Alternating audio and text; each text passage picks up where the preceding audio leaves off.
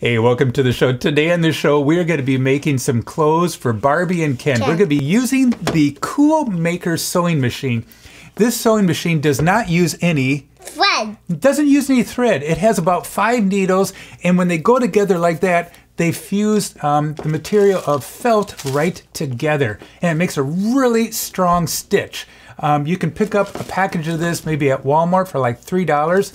I will have a link down below where you can find this Cool Maker machine.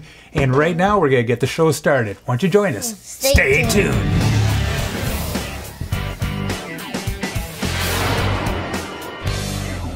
Hey, thanks for joining our show today. You'll notice that Ken does not have a shirt.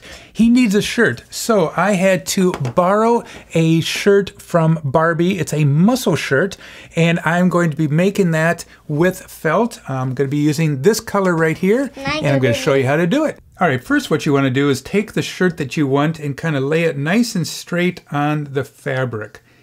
And I already started with a line right here, and I'm going to draw a line from from here all the way down, going all the way down like this. Now I'm going to make a dot right here and I'm going to draw a line that goes all the way down.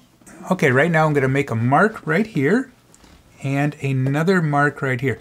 Don't worry about making marks on the fabric because at the end we're going to um, turn it inside out.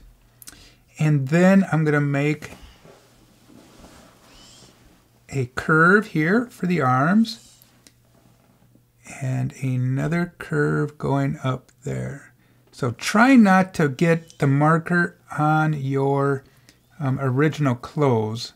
So you can be, um, you do not have to have your line very close to the um, clothes. You can have it out a little bit because when you turn this inside out, then it'll make the uh, clothes a, a little bit tighter. Okay, now, what we want to do is we want to sew this part all the way down here and then sew this part all the way down there. And this part will be folded, so I'll show you what I mean. I'm going to take the fabric right now and I'm folding it over like this.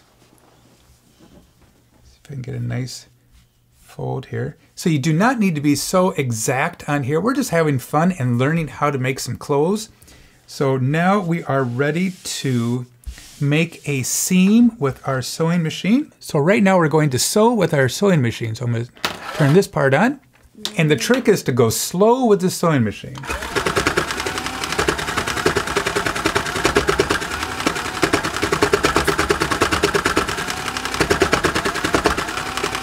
Now this fabric is a little bit thicker and um, so sometimes we're putting the sewing machine to a test, but this sewing machine can handle it. So right now what I'm going to do is cut on the outside of this edge so I don't break the seam. All right, now all I have to do right here is cut this little U shape here for the neck and the head. And if you can't fit your Barbie's head through that, then you might have to go back and make a little bit bigger cut, a little bit wider cut.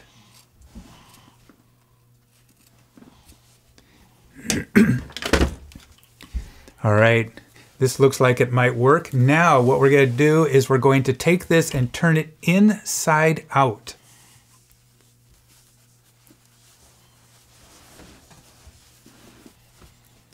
Just like that. I just got done with this. All right, after you cut that out, you can put your own design on the shirt. You could put a number or draw a picture with a permanent marker, or you could glue some fabric on there. So right now we are going to be putting a number on there. Number 21. Number 21. Okay, now we have Ken's shirt. Let's go see if it fits him. All right, check this out. Ken has his own muscle shirt. He is super happy. Now he can go to the gym and work out. This is really neat. Hey, when you're making uh, clothes like this, and if it's a little bit tight, then next time make your uh, clothes a little bit wider so that they can fit. But um, this one fits really good on Ken. I like it. Hey, thanks again for joining our show. Please like and subscribe. And like always, have a fun day. Adios. Bye-bye.